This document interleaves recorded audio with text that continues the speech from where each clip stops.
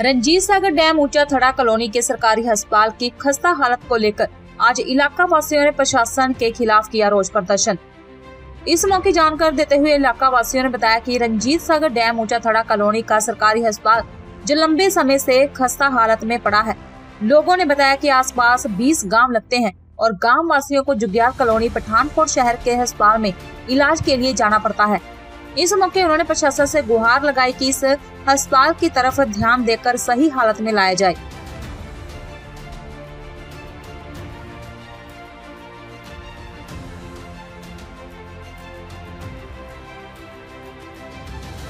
ਪ੍ਰਦੀਪ ਕੁਮਾਰ ਕੀ ਸਮੱਸਿਆ ਸੀ ਇਹ? ਸਮੱਸਿਆ ਸਾਰੇ ਇੱਥੇ ਡਾਕਟਰਾਂ ਦੇ ਬਾਰੇ ਸਮੱਸਿਆ ਸੀ ਤੇ ਜੇਕਰ ਅਸੀਂ ਹਸਪੀਟਲ ਦੀ ਗੱਲ ਕਰੀਏ ਤਾਂ ਤੇ ਇੱਥੇ ਤੇ ਹਸਪੀਟਲ ਬਹੁਤ ਵਧੀਆ ਹੈਗਾ ਸਫਾਈ ਹੈਗੀ ਅੰਦਰ ਮਤਲਬ ਬੈੱਡ ਵਗੈਰਾ ਸਭ ਕੁਝ ਠੀਕ ਹੈਗਾ ਲੇਕਿਨ ਇੱਥੇ ਸਹੀ ਟ੍ਰੇਨ ਟ੍ਰੇਨ ਨਹੀਂ ਹੋ ਰਹੀ ਹੈ। ਨਾ ਕਿ ਸਮੇਂ ਸਿਰ ਕੋਈ ਮਤਲਬ ਡਾਕਟਰ ਤੇ ਹੈ ਇੱਕ ਅਦਾ ਡਾਕਟਰਾਂ ਦਾ ਕਦੇ ਕਦੇ ਆਉਂਦਾ ਜੀ। ਲੇਕਿਨ ਘੱਟ ਤੋਂ ਘੱਟ ਵੀ ਇੱਥੇ ਡਾਕਟਰ ਡੇਲੀ ਆਉਣਾ ਚਾਹੀਦਾ ਔਰ ਸਮੇਂ ਦਾ ਇਲਾਜ ਵੀ ਹੋਣਾ ਚਾਹੀਦਾ ਹੈ ਤੇ ਲੋਕਾਂ ਨੂੰ ਜੋ ਵੀ ਹੁੰਦਾ ਇੱਥੇ ਦਿੱਕਤਾਂ ਆ ਰਹੀਆਂ। ਤੇ ਬਾਕੀ ਸਾਡਾ ਇੱਥੇ ਏਰੀਆ ਵੀ ਕਾਫੀ ਹੈ, ਜਿੱਦਾਂ 10000 ਦੇ ਲਮਸਮ ਇੱਥੇ ਆਪਣੇ ਥੜਾ ਉੱਪਰਲੇ ਵਿੱਚ ਹੀ ਮਤਲਬ ਪਬਲਿਕ ਰਹਿੰਦੀ ਹੈ। ਬਾਕੀ ਲਾਗੇ ਛਾਗੇ ਦੇ ਪਿੰਡਾਂ ਵਿੱਚ ਵੀ ਲਗਭਗ 30 35000 ਦੇ ਕਰੀਬ ਮਤਲਬ ਆਬਾਦੀ ਹੈਗੀ ਹੈ ਬੰਦੇ ਹੈਗੇ ਜੀ। ਤੇ ਇਹਨਾਂ ਨੂੰ ਜਿਸ ਟਾਈਮ ਵੀ ਕੋਈ ਇਦਾਂ ਦੀ ਪ੍ਰੋਬਲਮ ਪੈਂਦੀ ਹੈ ਬਿਮਾਰ ਜਾਂ ਐਕਸੀਡੈਂਟ ਵਗੈਰਾ ਕੁਝ ਵੀ ਹੁੰਦਾ ਤੇ ਇਹਨਾਂ ਨੂੰ ਲਗਭਗ ਜਾਂ ਜਗਿਆਲ ਜਾਂ ਫਿਰ ਪਠਾਨਕੋਟ ਜਾਣਾ ਪੈਂਦਾ ਜਿੱਥੇ ਕਿ ਰਸਤੇ ਵਿੱਚ ਬਹੁਤ ਜ਼ਿਆਦਾ ਦਿੱਕਤਾਂ ਆਉਂਦੀਆਂ ਜੀ। ਕਈ ਵਾਰੀ ਜਾਮ ਲੱਗਿਆ ਹੁੰਦਾ ਜਾਂ ਕੁਝ ਹੁੰਦਾ ਜਾਂ ਕਿਸ ਤਰ੍ਹਾਂ ਦਾ ਹੁੰਦਾ। ਇੱਥੇ ਫੈਸਿਲਿਟੀਆਂ ਨਹੀਂ ਹੈਗੀਆਂ ਜਾਂ ਕਿਸ ਕਾਰਨ ਇੱਥੇ ਲੋਕ ਨਹੀਂ ਆਉਂਦੇ? ਇੱਥੇ ਪਰਸਨੈਲਿਟੀ ਨਹੀਂ ਹੈਗੀ ਸਾਰੀ ਕੋਈ ਸਹੂਲਤ ਨਹੀਂ ਹੈਗੀ ਜੀ। ਕੋਈ ਜੇ ਸਹੂਲਤ ਨਹੀਂ ਹੋ ਜੇ ਸਹੂਲਤ ਹੁੰਦੀ ਤਾਂ ਸਾਨੂੰ ਕੀ ਲੋੜ ਹੀ ਪਠਾਨਕੋਟ ਜਾਣ ਦੀ? ਡਾਕਟਰ ਵੀ ਨਹੀਂ ਆਉਂਦੇ? ਡਾਕਟਰ ਵੀ ਨਹੀਂ ਆਉਂਦੇ ਜੀ।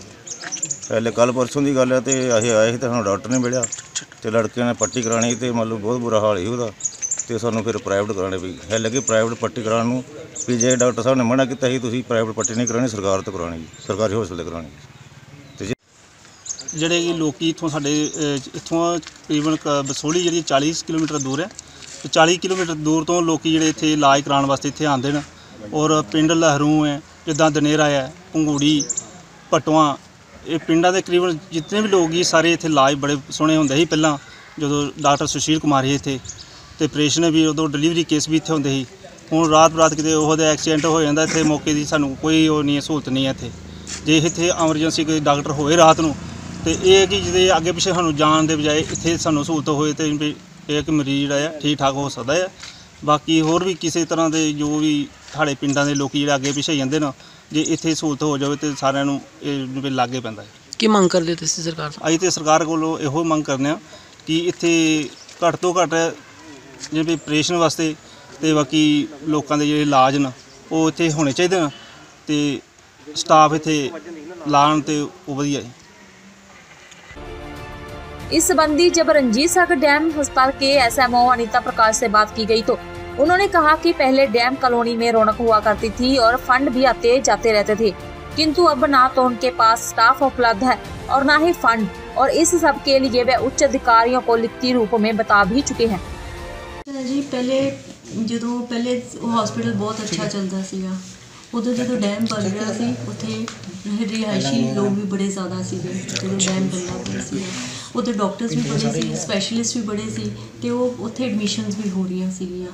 ਜਦੋਂ ਡੈਮ ਬਣ ਗਿਆ, ਉਸ ਤੋਂ ਬਾਅਦ ਸਟਾ ਜਿਹੜੇ ਰਿਹਾਇਸ਼ੀ ਲੋਕ ਵੀ ਚਲੇ ਗਏ ਇੱਥੋਂ, ਠੀਕ ਹੈ? ਪਹਿਲੇ ਫੰਡਸ ਬਹੁਤ ਜ਼ਿਆਦਾ ਸੀ, ਫਿਰ ਫੰਡਸ ਦੀ ਵੀ ਕਮੀ ਆ ਗਈ।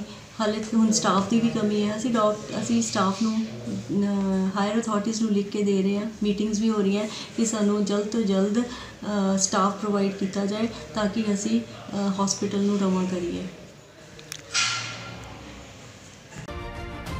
शाहपुर कंडी से सुरजीत सिंह की रिपोर्ट